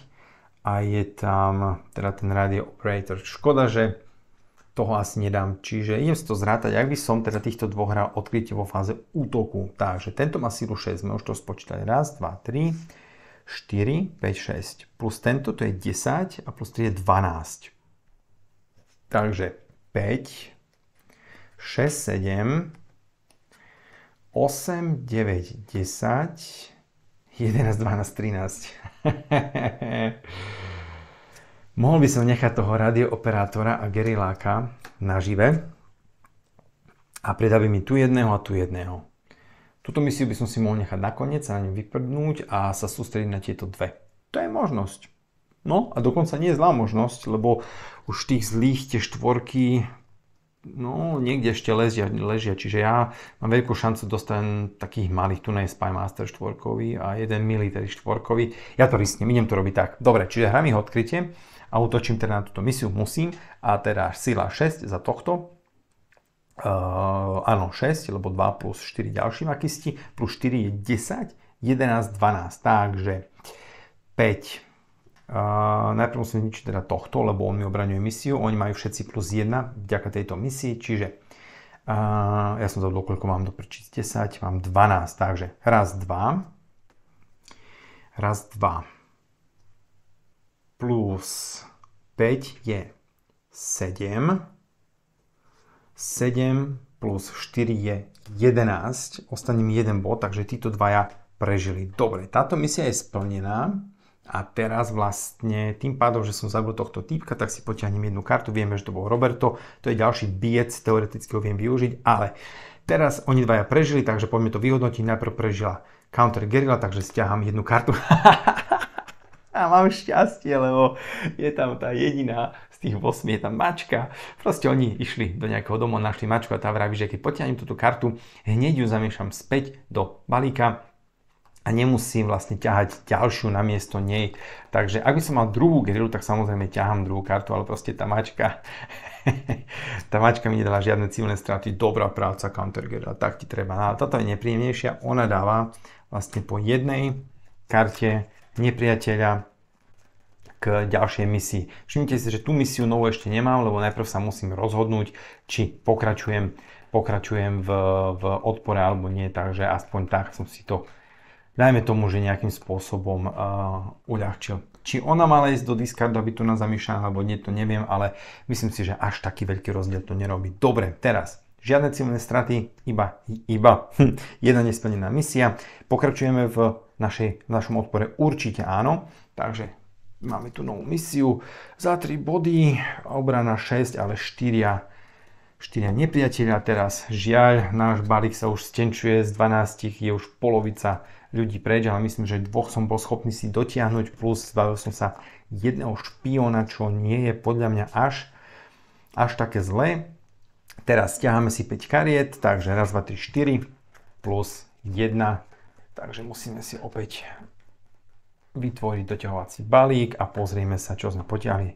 Ja, bol to špion ten posledný, čiže týchto, týchto 5 kariet. Fajn, špiona máme s Antoniom, to ma teší, to ma veľmi teší. No a poďme si ešte pozrieť, aký máme, aký máme bodový stav, takže máme 5, 10, máme 11, 11 bodov, čiže momentálne by sme neboli ešte ani v žiadnej výhre, takže určite chceme. Aspoň tá malá výhra má 15 bodov. Ja by som radšej chcel ísť do veľkého víťazstva za 22. Máme 15 bodov, to znamená, potrebujeme, potrebujeme zahrať, počkaj, 15? Ja, prečo som si myslel, že 15? Máme 11, takže by sme potrebovali ešte 11 bodov. No tak e, túto misiu by som si nechal nakoniec, zameral by som, si na, zameral by som sa skôr na túto, túto už asi veľmi, veľmi na ňu veľmi nemám, aj keď e, on obraňuje teda misiu, Spymasterov dvoch nechce mať, on zvyšuje obranu, to je, to je ťažké, táto misia je veľmi ťažká. Dobre, no a čo robí táto? Ona má nejakú defend, defend funkcia vraví, že ak je táto misia zvolená, tak hneď diskardneme všetkých makistov v hre. Fú, čo je, čo je teda, čo je teda seriózne, seriózne drsné. Takže čo urobíme? Ja hrám určite Antónia na to, aby som sa zbavil karty špióna a potiahol si jednu kartu. Mm. No a teraz máme možnosti. Keď zahrám jeho na plán, tak, eh, tak vlastne budem môcť zrušiť tu na jedného, jedného makistu. Mm, potom ona vie v útoku tiež vlastne zobrať jedného nepriateľa a získať jeho útok. Tým pádom by som mal už dvoch, dvoch zničených. Oni mi dali, ale oni by mi dali sílu 5 samú o sebe. Mm, on mi umožňuje potiahnuť jednu kartu, alebo keď sa rozhodnem hrať ho odkrytého, čo veľmi nechcem, traja odkrytý je veľmi zlé, tak by som znížil túto, túto sílu tejto misie o polovicu, čo by mi mohlo pomôcť samozrejme, ale lebo ja vlastne, keď ja by som si mohol zrušiť s touto kartou z týchto dvoch kariet jedného, jedného makistu, len tým pádom, že keď si zvolím toto, túto misiu, tak, e, tak prídem o týchto dvoch. To znamená, že ja budem mať sílu 0 a musel by som asi zahrať všetkých, všetkých týchto, aby som vôbec mal šancu na splnenie misie z 5, 6, 7. Ja to idem to, asi idem to rysnúť. Ostane potom koľko kariet? Raz, 2, 3, 4, 5, 6, 6, 7 kariet, z toho dvaja špióni. No to bude tak akurát iba na jednu misiu. No nevyzerá to dobre. Bude to asi nejaké stredné víťazstvo. Tých 22. Tých 22 asi nedám. 22 asi nedám. Idem to urobiť tak, hej. Dobre, takže hrám Dominga vo fáze plánovania a odkryjem dve karty a môžem jednu zrušiť Spymaster a Spymaster. Takže ja ruším Spymastera dvojkového. Prečo dvojkového? Lebo ja ju chcem hrať tak či tak uh, odkrytú a zobrať si teda štvorkovú kartu a budem mať ja sám silu 4. Dobre, tak teraz nehrám už nič, vyberám si misiu, takže bum, je tam tá defend funkcia, čiže uh, ak si ju zvolím, tak hneď musím discardnúť, discardnúť všetkých, všetkých uh, makisákov v hre, takže som to aj spravil. No a teraz poďme hrať, no a musím si samozrejme otočiť, aké tam sú karty. Sú tam dve, dvaja antigeriláci, čo mi až tak nevadí, čo mi až tak nevadí. To znamená, že ona by mala sílu 4, on sám o sebe, on sám o sebe má sílu, sílu 3, takže to už bola síla 7. A 7 plus ten je 8, čiže jeden Kanten Gerilak je v pôde. Dobre, tak ja tým pádom môžem jeho hrať zakrytého, to je fajn, to je dobre. Čiže poťahnem si jednu kartu z toho deku. Je tam Celia, mm, Celia nám, myslím, že teraz, teraz ju nechcem hrať odkrytie zatiaľ, lebo budem mať stenčený balík, budem mať týchto dvoch gram určite odkrytie, čiže budem mať raz, dva, 3, 4, 5, 6, 7, 8 kariet a z toho dvoch, dvoch špiónov. To znamená, že ja potrebujem Antonia Seliu na to, aby som si dotiahol uh, dosť kariet na ruku a mal aspoň nejakú takú šancu. Čiže ja ju nebudem hrať, ale ju si zahrám určite odkrytú vo fáze útoku, takže diskardnem jedného nepriateľa z tejto misie, ktorú som si zvolil a a získam jej útočnú silu, čiže 4. To je fajn. A keď chcem mať ešte vôbec šancu na nejakú misiu, ja premýšľam stále o tej sérii, že by som ju zahral, lebo ona vraví, že si môžem zohrať, zobrať jednu kartu z reveal pile na moju ruku, čo by bol čo by bol Marcelino a on mi môže pomôcť vlastne pri ukončení poslednej misie, lebo asi moja, moja ďalšia misia bude tá posledná. Dobre. Mm-hmm. Asi hej, asi tak spravím. Čiže jeho hrám odkryte. A v odkryte som mohol hrať za tú jeho funkciu do vo fáze plánovania. Vidíš, to je hlúpe z mojej strany. Mm, tak ja ho hrám, tak ja ho hrám tým pádom zakrytie. a diskardnem jedného nepriateľa. Jedného nepriateľa. To znamená, že mám o jednu kartu viac. Čo je dobre. To znamená, že poďme si to prepočítať. Mám sílu 4, 5, 6, čo mi vlastne stačí na to, aby som porazil tú misiu. Ja to tak spravím. Ja si nechám, nechcem si veľmi, nechcem si veľmi ničiť ľudí. Aj keby som mohol zobrať Marcelína, ale to môžem spraviť, aj keď celý dostanem v ďalšom kole na roku. Dobre, takto je to podľa mňa lepšie. Takže 4, 5, 6, ničím túto misiu. Žiaľ, Hunter Guerrilla mi prežila, takže teraz ťam straty a sú tam dve civilné straty, čiže teoreticky, ak nebudem mať smúlu, mám ešte možnosť jedné civilné straty nejakým spôsobom vykryť. Fajn. Misia je ale splnená, 3 body sú doma, to sa počíta tak, že 5 civilných strat nemám, nemám dve nesplnené misie a ja pokračujem ďalej, idem s turistom, myslím, že na jednu misiu ešte šancu mám dobre. Franko, Franková centrála, obrana 7 a 5 nepriateľov a vraví, že ak ju porazím, tak za každého z ne- nepriateľa, ktorého som nezabil, si môžeme potiahnuť jednu kartu z civilného deku. To je ťažká misia. To znamená, že musím ísť buď na túto alebo na túto. Dobre, Consuelo poslúžila výborne, vy idete do discardu, ťahám si 5 kariet, pretože pokračujem ďalej v, vo svojej obrovskej revolúcii, ktorá zatiaľ prebieha celkom fajn. Mal som už aj horšie hry, sa vám musím priznať, ale aj lepšie. ale táto hra je fantastická, je to kopec rady, takže musíme čeknúť, či nemáme piatich.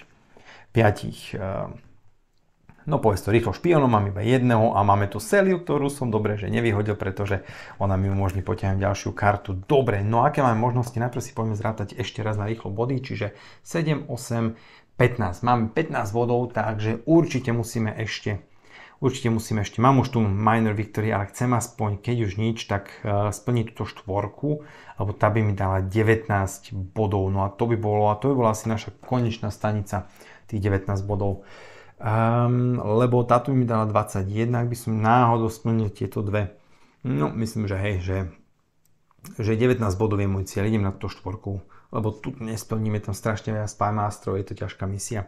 Idem na to, myslím, že na túto misiu mám, myslím, že mám. Takže najprv hrám celiu ako skrytú a vyskadnem jedného špióna a za to si poťahnem jednu kartu. Dobre, nie je tam, nie je tam, nie je tam nič zlé. Dobre, takže tým pádom hrám Dominga na to, aby som odkryl dve karty a jednu kartu nepriateľa zničil. Jailer je málo nebezpečný, takže zakrývam military. Potom hrám Emilia, aby spravil vlastne to isté, čiže kopírujem jeho schopnosť a pozriem si ďalšie dve karty. Aha, je tam Country Guerrilla a Military. Keďže predpokladám, že to bude moja posledná misia, tak ja radšej neriskujem to, že Counter Guerrilla mi dá nejaké, nejaké veľké straty. Dobre, takže teoreticky, teoreticky týchto dvoch nepriateľov je úplne v pohode nechať plavať. A je tu jeden nepriateľ. Aké tu mám ešte karty?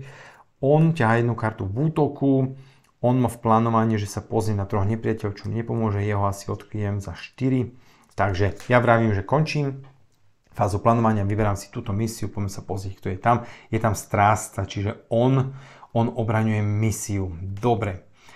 Ak by som chcel poraziť všetkých, potreboval by som 6, 7, 10, 12. 12 to nedám. Dobre, Ricardo, teda Ricardo Roberto ide, ide určite odkrytý. Čiže v tomto, v tomto momente mám 4, 5, 6. Čo mi nestačí, lebo potrebujem tohto sejmuť. Dobre, čiže ja asi zahrám Buď si to risknem a potiahnem si jednu z týchto troch kariet, eh, alebo, čo mi, ak tam nie je špión, ja to risknem, ja hrám, hej, idem to risknúť, čiže Ricardo mám, počkaj, 4, 5, 6, 7, čo mi, čo mi zaručí splnenie misie a týchto dvoch budem môcť ignorovať a potom ukončím. Ak tu nebude špión, tak mám ešte šancu niečo vyriešiť. Dobre. A to je paráda. Toto, toto je super. Čiže... Mm, uh-huh. To mi pomohlo. Škoda, že v pláne ho hrať nemôžem, takže hrám ho ako v útoku Adolfa Skrytého a on mi pomáha diskarnúť jedného nepriateľa. A teraz ja ešte premýšľam takou haluzou, že ja obetujem tohto a skúsim zabiť tohto. Koľko mám? Ako mám silu? Raz, dva, tri, sedem. Uj, nestačí. Lebo ja som premýšľal, že za Adolfa by som discardol tohto typka a tým pádom by som ignoroval jeho a potiahol by som si jednu kartu, ale nevychádza to. Dobre, čiže za Adolfa musím, musím, zrušiť, uh, musím zrušiť tú military, lebo ten military mi urobí nepekné veci. Dobre, no a teraz to poďme spočítať, škoda toho, škoda toho, toho, toho strástu. Takže raz, uh, žalárnika raz, dva, tri, plus 4 je 7, čiže zabijem garda, lebo ináč by som nemohol splniť tú misiu. Um, a ďalších 6 získam štvorkovú misiu, fajn, ale ona má defeat funkciu, ktorá vraví, že pridám nového špióna do svojho hidden decku. Takže teraz príde kritická otázka, ja to najprv pozriem, či som prehral. Neprehral som, pretože mám dve civilné straty, mám um, jednu nesplnenú misiu, Roberto je preč, no a vlastne No a vlastne tu mám tieto karty, z toho. Sú traja špioni. Dobre, ja urobím, ja urobím takú vec, pretože podľa mňa to není porušenie pravidel. Ja si poťahnem predtým, než, si, než to rozhodnem, si pozriem aspoň tieto dve karty, aké mám, lebo v podstate, keby som mal veľmi dobrú pamäť, tak, tak by som to vedel. Keď to niekto bude považovať za za, ako sa to povie, za švindľovanie, tak sa ospravedlňujem, ale ja tam nevidím zmysel. Dobre, mám tam Antónia a Špiona. Takže tých dvoch by som potiahol určite. A mám tu ďalších dvoch. Mám vôbec šancu, mám vôbec šancu poraziť sedmičkovú misiu, napríklad túto za dva body. To mi síce ne, nezmení nejakú, nejaký ten nejaký ten level víťazstva, ale aspoň by to bolo také, že dobre, aspoň som skúsil ďalšiu, ďalšiu misiu, lebo Kante Guerrilla nie je až taká nebezpečná, Spymasty sú mi ukradnutí. Vedel by som poraziť túto misiu za 7 v plánovaní, on by mal 3. On by mal 2 za 5 teoreticky, 5, 8, 9, mm,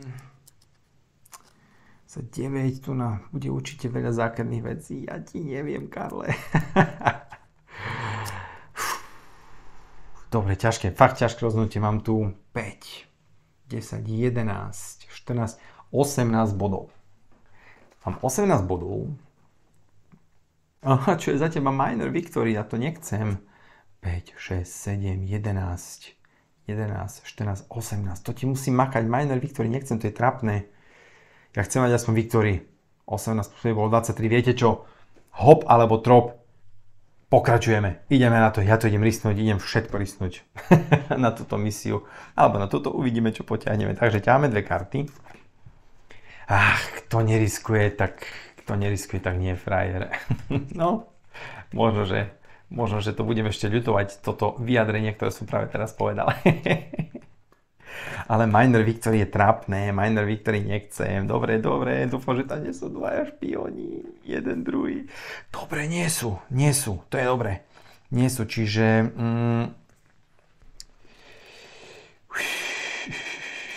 čiže ja hram určite Antonia vo fáze plánovania na to, aby som zahral kartu špiona a potiahol si jednu kartu na ruku. Je tam ďalší špion, čiže hram určite, aj keď aj keď, aj keď, aj keď, aj keď ja to môžem robiť ináč, lebo ona by si mohla zobrať kartu z reveal pile a zahrať rovno do ruky, čo by mi dalo tohto killera za 2, 3, 4, 5. On by mal sám iba sílu 6. A to nie je zlé, a to nie je vôbec zlé. Um, Dobre, tu si môžem potiahnuť nejaké kopírovanie akcie, alebo sú tam ešte sú to nejakí dobrí typci. Hmm. Ty vole, to je ťažké. Ja zahrám, keďže toto je už určite posledné, posledné kolo, ja najprv zahrám... Ja najprv zahrám v plánovaní Dominga odkryť, čiže sa pozriem na tri karty v hidden decku, discardnem hoci koľko z nich a ostatné dám do poradia, v akom chcem. Uh... Draw one card.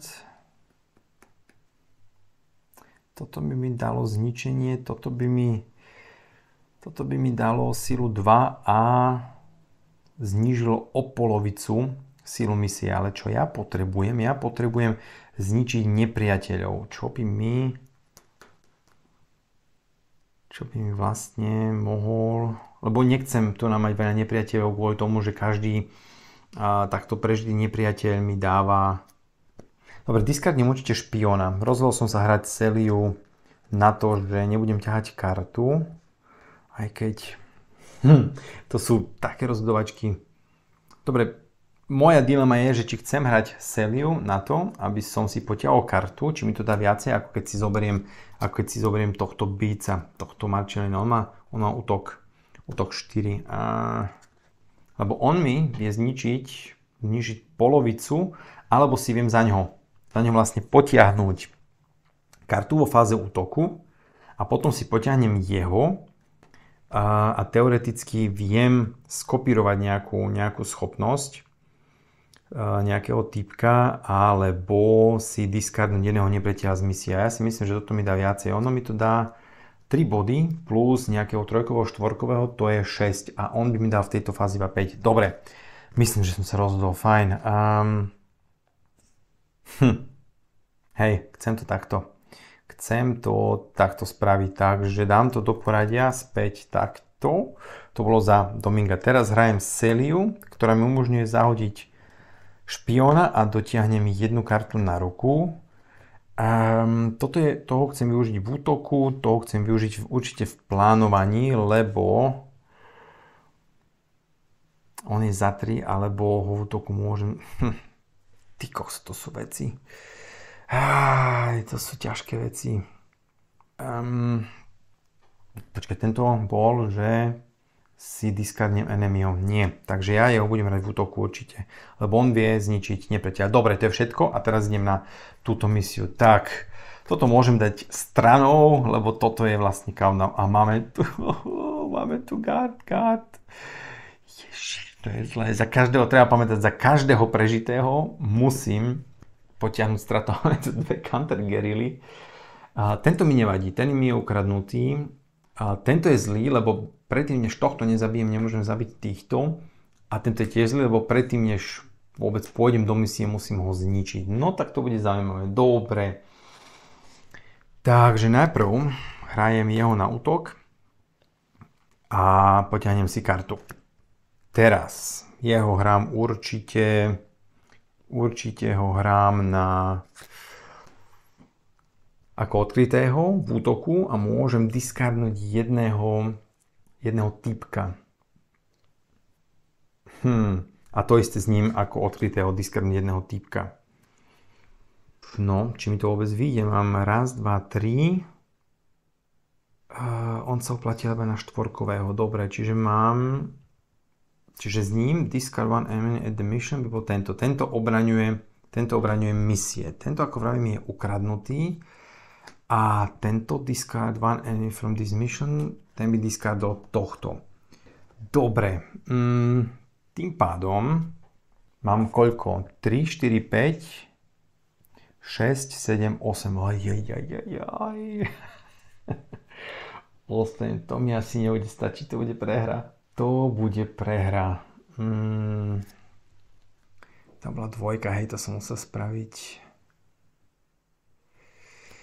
To bude prehra, veru. No, nič, musíme ísť do toho tak, že mám raz, dva, tri, 4, 5, 6, 7, 8, čiže viem zabiť v podstate len týchto a tým pádom, tým pádom to bude prehra na civilistov. Takže survive, najprv si zamiešam all hidden monkeys in play and remove one from this game.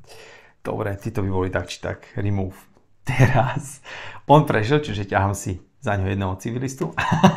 je tam trojka, takže tak či tak by sme prehrali. Poďme si ešte pozrieť vlastne, čo by, tam, čo by tam bolo. Ešte by som si musel potiahnuť vlastne dvoch civilistov, takže bola by tam jednotka a jednotka. Do prčic, keby trojka bola na spodku, tak by sme to prežili ale neprežili sme. Dobre, ja pri tejto hre veľmi, veľmi rád riskujem, lebo chcem mať, chcem mať nejaké väčšie víťazstvo, čiže toto bol dúfam, že zábavný playthrough tejto hry. Uh, podľa mňa som sa trošku prepočítal na konci, mal som tu, mal som tu sériu hrať na to, že by som si zobral tohto, tohto bíca na ruku a uh, možno by to vyšlo ináč, ale nevadí, nevadí. Toľko, toľko hra vzdor alebo resist, uh, prehra, ale táto hra je zábavná, takže poďme do hodnotenia. Hru máme za sebou neúspešne, bol som veľmi, veľmi lakomý, čiže predtým, než sa pustím klasicky do tých mojich 5 bodov, tak eh, poviem iba k tejto hre 1 eh, až 2 body, pokiaľ viem a nenapadne mi niečo viac. Čiže prvý bod je, ak by som to naozaj, naozaj mal hrať eh, seriózne a nejako kompetitívne, keď tak nazvem, čo mi v solo hre nedáva nejaký veľký zmysel, ale to je jedno. Čiže ak by som to hral naozaj seriózne, úplne na, na čisté body, tak by som určite podľa mňa s tým, čo som na konci mal, by som tú misiu za dva body v pohode dal. To bola tá, tá vpravo. Mal som vlastne v tom poslednom kole na výber dve misie, buď Frankovú Vilu, alebo neviem ako sa volá tá napravo. A za tie dva body by som mal to, tomu stredné víťazstvo, pretože by som skočil na hranicu. Hm 20 bodov, pokiaľ to v hlave mám správne ako uh, zapamätané. No ale neurobil som, riskoval som a tým som prehral hru, ale mne osobne to nevadí. Ja rád riskujem, pretože ja rád vyhrávam na maxime, ale tých 19 bodov s tým, čo bolo na tej misii s nepriateľom by sa dalo s tým, čo som ešte mal ruke úplne ako spraviť. Takže to ako prvá vec, mne osobne to nevadí takto hrať, ale uh, len ako pre vás, aby ste vedeli, že áno, vedome som išiel do toho rizika.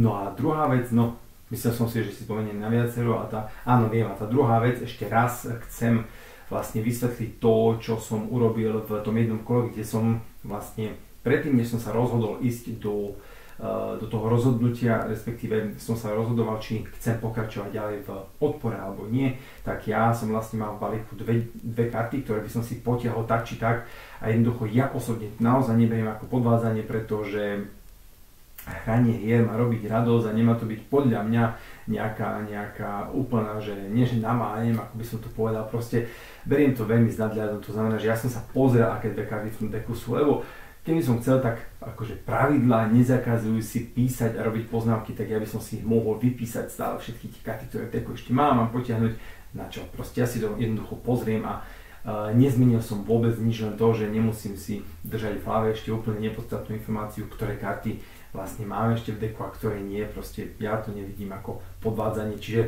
keď sa niekto nad tým rozčiloval, tak uh, kľudne vyhrajte ako chcete, ale ja som v tomto prípade, jasne, že si ich nepozerám, uh, keď si mám potiahnuť kartu, to je jasné, to je podvádzanie, ale tieto dve karty by som si potiahol určite, takže tak, no. A na tretiu vec som si nespomenul, uh, myslím, že tam ani žiadna nebola, takže myslím, že sa rovno môžeme pustiť do mojich 5 bodov hodnotenia. Prvým bodom mojich hodnotenia je klasický téma, no a my sme tu na v tom, tom frankovom režime na území Španielska, snažíme sa ho poraziť, snažíme sa vlastne vyhnať, asi vyhnať, hm, tak to nazvem, um, tie jednotky frankové a celý jeho režim vlastne odstrániť uh, v Španielsku a nastaviť demokraciu.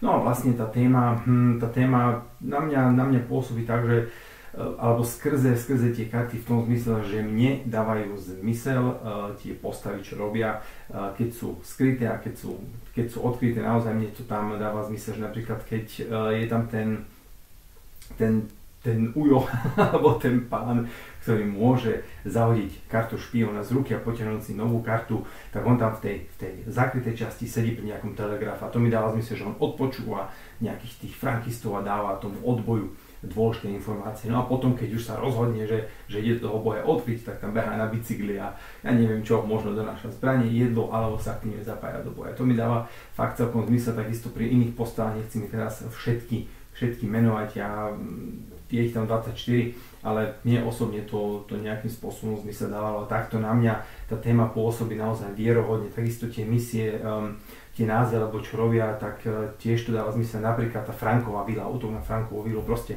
predstavte si, že zautočíte ako odboj na, na vilu toho, toho diktátora a jednoducho je tam, sú tam nejaká ochranka, ona prežije, no tak myslím si, že ten, ten Franko by asi bol dosť nahnevaný a, a vlastne by začal robiť teror medzi civilným obyvateľstvom, čo sa hodí, lebo vlastne za každú prežitú, tú, to, za každého prežitého nepriateľa si ťaháte kartu civilistu. Čiže uh, cez tieto karty, aj čo robia tí, tí nepriatelia, za mňa osobne je téma spracovaná veľmi pekne, ako jasné, že tie boje uh, nie sú prezentované nejakými hodom kockami, je to jednoduché číslo obrany a útoku, ktoré sa nejakým spôsobom vyhodnotí, ale za mňa osobne uh, to, ako funguje tá hra, že vlastne musíte dávať pozor na civilné straty, musíte dávať pozor na to, aby ste splnili misie, lebo ak vy nesplníte, prehrávate hru, aby ste nemali veľa špiónov medzi sebou, pretože čím viac špionov, tak tým je to horšie a ste viac náchylní na prehru, uh, pretože vám dávajú informácie,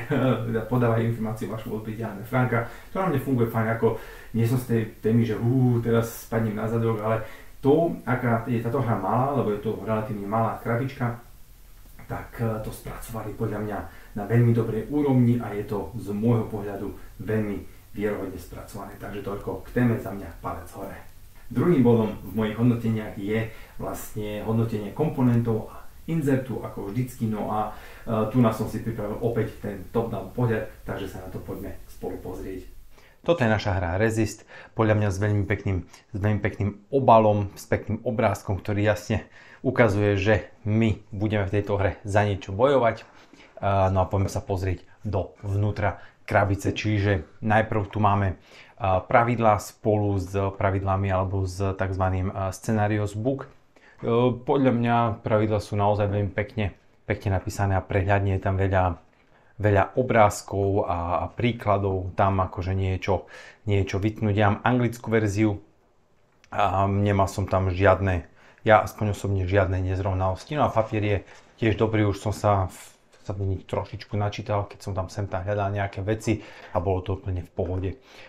To isté sa týka toho, toho, tej knihy, tej knihy scenárov, tu sú ešte nejaké pekné obrázky, nejaký flavor, text, ktorý je, ktorý je tak, dá aspoň nejakú takú tému tej hre alebo tých daných misií, no a tam tiež niečo, alebo respektíve o čom. Takže máme tam tu tie, tie, to klasickú kampaň s 8 scenármi a potom ešte nejakú historickú kampaň zo Španielska. Čiže veľmi pekne urobené, za mňa určite palec hore. No a toto je krabička, tam tu niečo veľa povedať, ja mám svoje karty ako vždycky obalené. Najprv keď som to videl, som myslel, že, že prečo, som si pomyslel, prečo opäť plýtvali miestom a mohlo to byť kľudne vlastne v nejakom takomto formáte, že mohla byť krabička menšia, ale potom by boli podľa mňa, podľa mňa pravidlá veľmi malé. No a čo je fajn, tak ono to neviem, či vidíte, tu nás sú také šikmé plochy, na tých hranách, no a vlastne to je, to je veľmi praktické, lebo zatlačíte na tie karty a oni sa vám vlastne takto tu na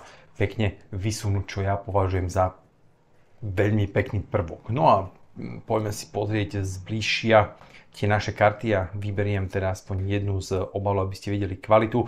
Ja som ináč ich nemal od začiatku v obale, takže Takže vlastne ono by sa mohlo zdať, že budú opotrebované, lebo mal som určite vyše 15 hraní bez obalov. No ale vidno, vidíte, že neviem, či je to počuť alebo vidieť na tomto na, na tom videjku, ale tie karty sú naozaj urobené veľmi pekne. E, za mňa osobne sú aj tie, tie ilustrácie za moju stranu veľmi pekne, veľmi pekne na tých kartách urobené, čiže ja tam nemôžem vôbec nič, nič povedať. Už ste videli v playthrough eh, niektoré tie postavy, oni vlastne tá, tá výzáž alebo štruktúra karty je veľmi jasne daná. Ľavá strana, pravá strana, odkrytý, neodkrytý uh, makista, čiže tam, tam nie je o čom. To isté sa týka, sa týka misií, a to ešte ukážem, to sú iba čisto špehovia. Oni vlastne je, vlast, každá, každý z tých, z, toho je, z tých špehov je iný, ale nemá to na hru nejaký veľký, veľký význam, proste je to len karta špeha. No a misie, e, podľa môjho názoru tiež e, pekné obrázky, veľmi prehľadne urobené, sú tie karty, sú tie karty urobené, čo ste samozrejme už v hre videli, tam, tam podľa mňa nie o čom. Kvalita kariet je presne taká istá ako, tých, ako kvalita tých makistov, no a tu na fakt, že tu na nemám čo vytknúť, naozaj sa to veľmi pekne, veľmi pekne pozerať. Čiže ja som aj náš problém, ja som si e, na začiatku myslel, nie že problém, ja som si na začiatku myslel, že Eh, že miešanie tých kariet, tých dlhých kariet bude problém, ale vôbec to tak nie je, úplne sa to mieša v pohode. No a potom tu máme druhý balíček kariet, ktorý ste v hre tiež videli, sú to uh, ten balík našich nepriateľov, naši civilisti a potom táto, uh, táto pomocná karta, no a tam tiež opäť vyberiem jednu jednu kartu navrh, tam je to vlastne to isté, čo, čo pri kartách makistov a pri kartách tých scenárov, tá istá tá istá kvalita podľa mňa veľmi pekná a tie obrázky sú, sú také, aké sú. E, podľa mňa sú pekné, prehľadné, e, dali sa aj trošku dokonca námahu, že, že ten Spymaster napríklad nie je vždycky ten istý. Strážen napríklad tiež, hej, ten má šatku, ten nemá. Je sú to také, také milé detaily, ale ja takéto veci mám ráda v hrách. No a symbolika a text sú podľa mňa bezkybne tam človek nejakým spôsobom nepríde k nejakému chaosu. No a to isté sa týka týchto civilistov aj s mačkou. Um, tam už to nebudem ukazovať dopodrobná. Takisto tá istá kvalita, veľmi pekne urobené. No a samozrejme prehľadová karta je podľa mňa povinnosť by to mala byť v každej jednej hre, pretože to pomáha veľmi, veľmi pri, pri takom tom prehľade, hlavne zo začiatku, alebo človek keď zabudne, tak si pozrie tú prehľadovú kartu a vie, čo má robiť. No a to vnútro krabice je podľa mňa tiež fajn, tam pekný obrazok. Ja mám stále rád, keď, keď je tam invert, proste invert je veľmi pekne robený, no a vidíte, že ja ho takto natiahnem, tam je proste taký pekný, pekný obrázok. Myslím, že je to obrázok jednej misie, čiže e, za insert určite obe palce hore, pretože uh, takto by podľa mňa, toto by mala splňať každá jedna hra. Teraz som to robil tak, že toto by, bolo, toto by bola výzáž, alebo respektíve ako vyzerá naša hra. A poďme opäť ku mne do hodnotenia. Keď sa bodom 3 v mojich hodnoteniach je znovu hrateľnosť, no a ja už som uh, teda v tých top, top 10 mojich hrách v tom videjku spomínal, že myslím, že v tom čase, keď som natáčal tých top 10, tak som mal zase u nejakých 15 hier. Momentálne je to už cez 20, tak ako som predpokladal a tá hra ma doteraz ani raz nenudila. To, uh, najprv som mal trošičku obavy, pretože je tam tá tabuľka s tými, s tými a, víťaznými bodmi a ako sa vlastne hodnotí víťazstvo, ale dobre, ja som sa na to zameral v tom mojom videjku, ale keď hrám sám, tak ja väčšinou, väčšinou riskujem a snažím sa dosiahnuť stále to víťazstvo 22 a, a čo najviac misí. To je ten môj spôsob, ako hrám. No a to, ako prídu karty, ako prídu nepriatelia, ako si vlastne dáte ten draft, to, to veľmi obohacuje tú hru a vlastne Mám už nejaké postupy, ktoré robím, uh, robím vlastne skoro vždycky, ako napríklad Domingo. Domingo je naozaj podľa mňa silná postava, pretože ak môžete odkryť dvoch nepriateľov, jedného z toho odstrániť, to je veľmi silné. Uh, takisto Sevilla alebo ten Antonio, myslím, že sa volá, ktorý vám uh, pomôžu zahodiť špiona z ruky a dotiahnuť si kartu na ruku. To je taký štandard, týchto si beriem ak môžem, tak veľmi často, ale stále príde nejaká kombinácia dvoch, dvoch makistov pri drafte, kedy si viem, že o, za týchto dvoch som ešte nikdy nehral. Potom ich zoberiem do deku a zistím, wow, takže aj takto to môže fungovať. Takže to, čo som mal v hlave, že sú slabí, to nie je pravda, lebo pri istých okolnostiach môžu veľmi pomôcť a tak ďalej. A jednoducho, iba to základná hra, ja síce po 8 hrách, ak sa, ak sa dobre pamätám, po 8 hrách som hneď preskočil na, na, ten, na tú knihu scenárov, ale nie preto, že ma to nudilo. Jednoducho, ja mám rád kampane. Kampane e, prinášajú niečo nové do tých pravidiel, ale to mi nebráni v tom sem tam si zahrať klasickú hru a doteraz sa mi to neomrzelo. Vravím, prestal som to počítať. Je to už určite cez 20 hier a nekončí to pri tom, pri tom čísle, pretože, pretože e, tá hra ponúka naozaj veľmi veľa, veľmi veľa znovuhrateľnosti. No a plus tá kampaň, uh, sú ľudia, ktorí, ktorí už majú oveľa väčší počet odohraných hier a hrajú stále iba tú základnú hru, do kampane ešte ani nepotrebovali vojsť, pretože stále majú zábavu v objavovaní hry a skúšaní tej hry a vlastne e, to hovorí, to hovorí za to, že znovuhrateľnosť podľa mňa, podľa mňa v tejto krásnej malej hre je veľmi vysoká.